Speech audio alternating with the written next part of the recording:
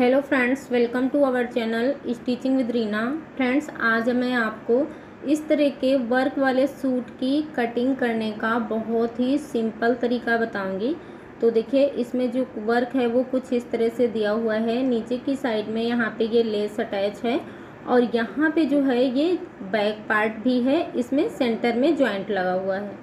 तो यहाँ से हम क्या करेंगे, यहाँ पे ये जो सिलाई लगी हुई है, इसको हम खोल के जो हमारा बैक पार्ट है और फ्रंट पार्ट है, उसको हम अलग अलग कर देंगे। आजकल अक्सर जो वर्क वाले सूट हैं, वो इसी तरह से ही आते हैं। तो अभी क्या करेंगे?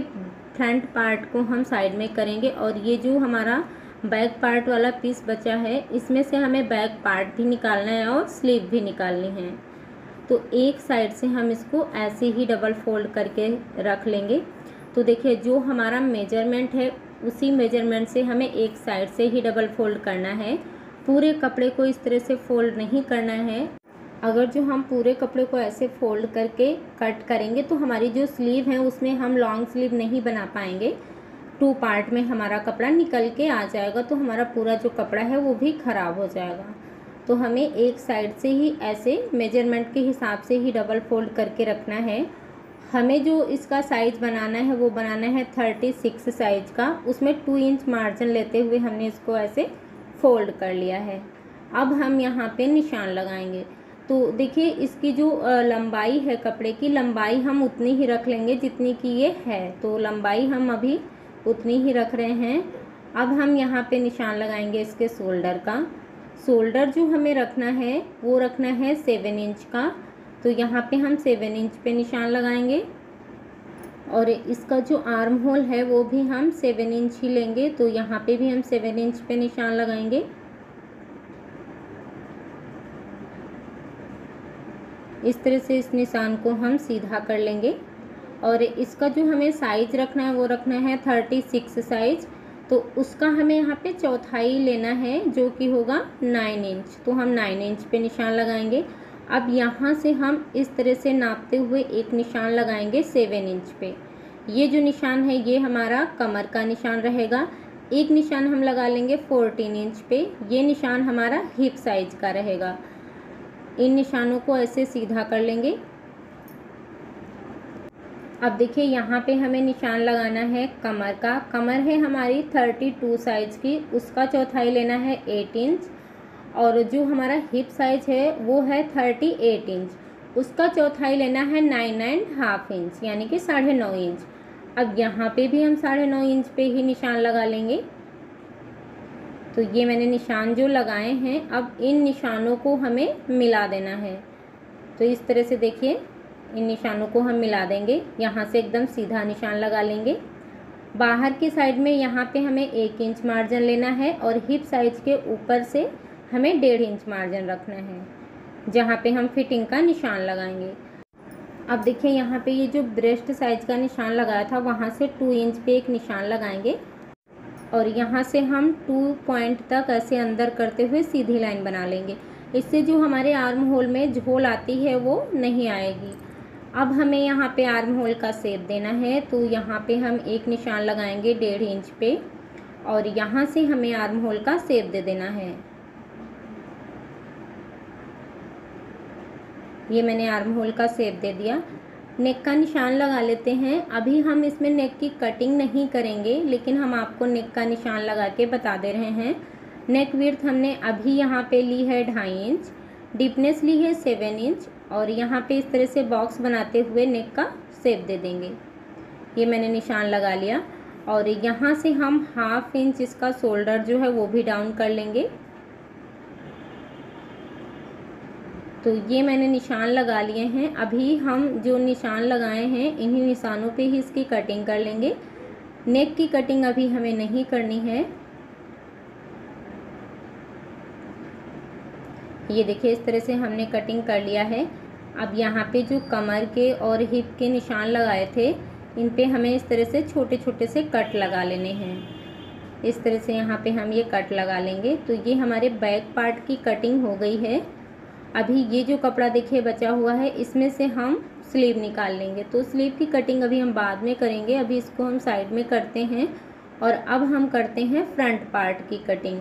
तो हम फ्रंट पार्ट को ले लेंगे और इसको हम यहाँ पे ऐसे रखेंगे। और यहाँ पे देखिए, इसमें नीचे की साइड में जो ये लेस है, इसको भी हम निकाल देंगे।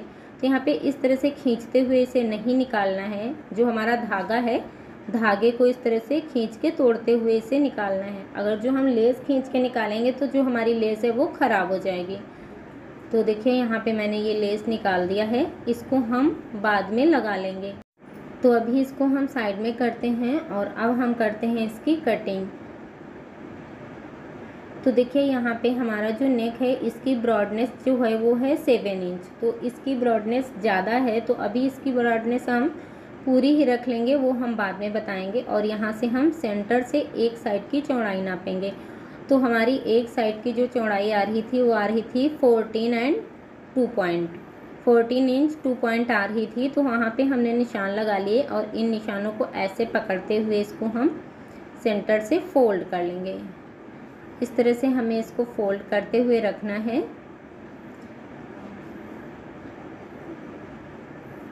अब यहाँ पे देखिए, हमें देख लेना है, जो हमारा नेक का डिज़ाइन है, वो दोनों साइड का एकदम बराबर से मिलते हुए ही फोल्ड होना चाहिए। और इसके बाद यहाँ पे हम, जो हमारा डिज़ाइन है, उसके एक इंच ऊपर हम निशान लगाएँगे और इस निशान को हम सीधा कर लेंगे। तो ये निशान हमें नेक की डीपनेस नापते हुए ही लगानी है। अगर जो आपका नेक ज़्यादा डीप है तो इसको आप डिज़ाइन के बराबर से भी लगा सकते हैं। अभी हम बैक पार्ट को लेंगे और जो हमने सीधी लाइन ऊपर की साइड में ड्रॉ करी थी, वहीं से इसको इस तरह से मिलाते हुए इसके ऊपर रख लेंगे। एकदम बराबर से ही ऐसे मिलाते हुए रखना है और इसी सेप में हम निशान लगा लेंगे। एकदम बराबर से ही हमें ऐसे निशान लगा लेना है और फिटिंग वाले निशान भी हमने लगा लिए हैं। अभी देखिए, ये जो हमने फिटिंग वाले निशान लगाए हैं, इनको भी हम बराबर से ऐसे मिला लेंगे।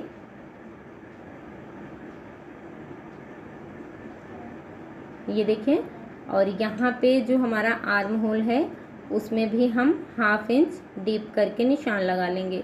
ये देखिए, ये मैंने निशान लगा लिए हैं, और अब हम यहाँ पे इसी शेप में इसकी कटिंग कर देंगे।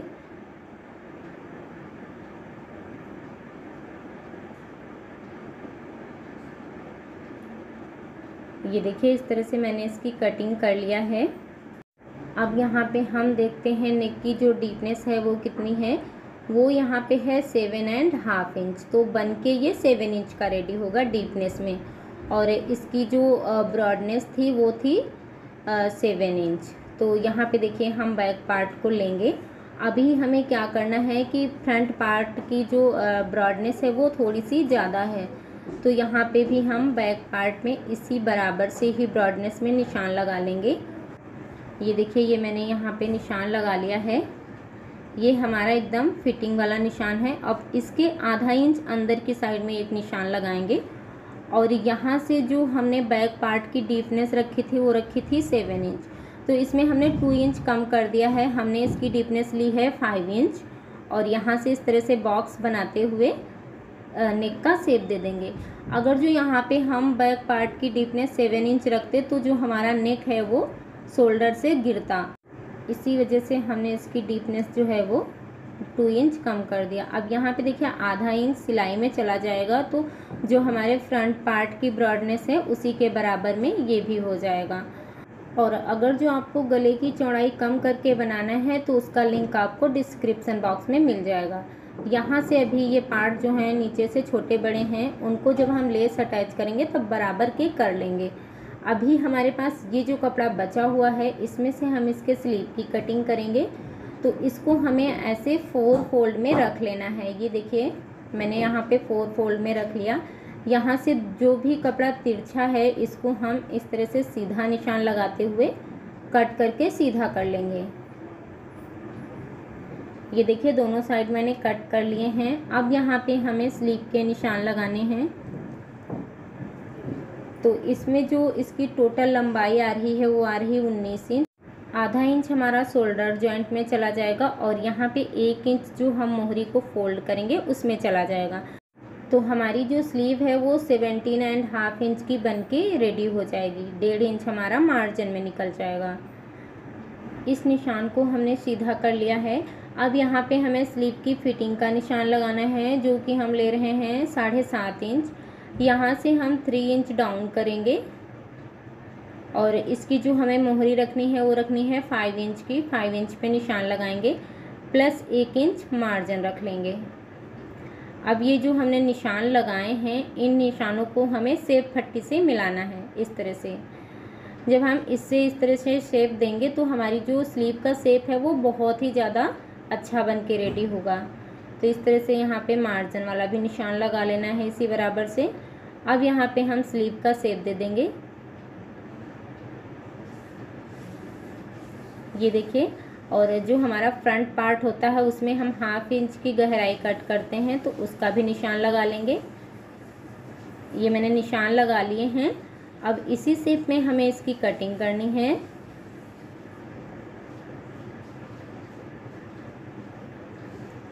ये मैंने यहाँ पे कटिंग कर लिया है। अब यहाँ पे देखिए टू पार्ट यहाँ से उठाएँगे इस तरह से और जो हमारे फ्रंट आर्म होल की गहराई है, उसको भी इस तरह से कट कर लेंगे।